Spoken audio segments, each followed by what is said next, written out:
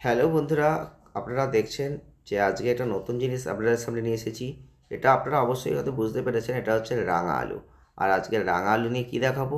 তো চলুন, সেটাই কিন্তু আজকের ভিডিও দেখি। আপনাদের আশা করি ভিডিওটি অনেকটাই ভালো লাগবে।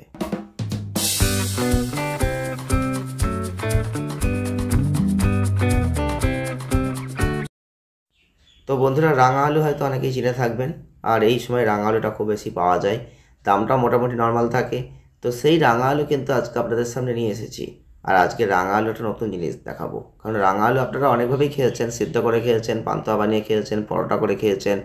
কিন্তু আজকে রাঙা আলুর যে রেসিপিটা আপনাদের সামনে তুলে ধরবো, এটা আপনারা হয়তো কখনো খাননি।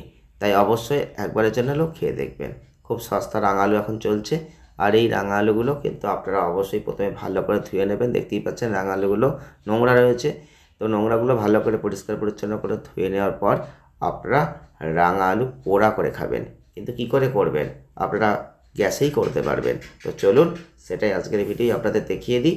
আপনারা দেখলেই খুব সহজে করে ফেলতে পারবেন। তো দেখতেই পাচ্ছেন গ্যাসের ওভেন জেলে দিয়েছি, আর ওপরে একটা জালতি দিয়ে দিয়েছি। তো আপনারা অনেকেই জানেন, জালতিটা কি দেখতেই পাচ্ছেন? তো এটা আপনারা অবশ্যই চিনবেন। আর এই রাঙা আলুগুলো কিন্তু এবারে একটু দুমাথা কেটে দিয়েছি, যাতে সিদ্ধটা ভালো হয়।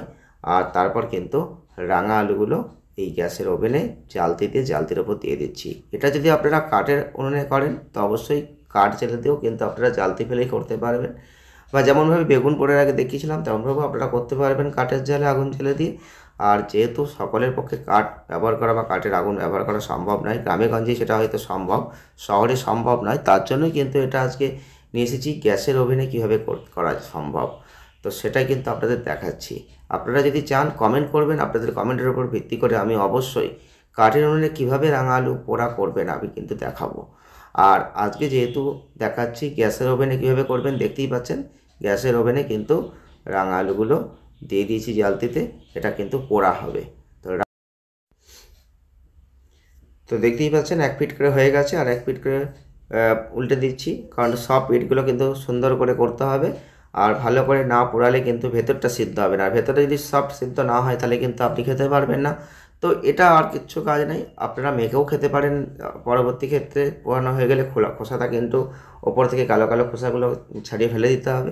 তারপর কামড়ে, কামড়েও আপনি এমনি খেয়ে নিতে পারেন। যেভাবে খাবেন, সেভাবেই কিন্তু খুব সুন্দর স্বাদ হবে।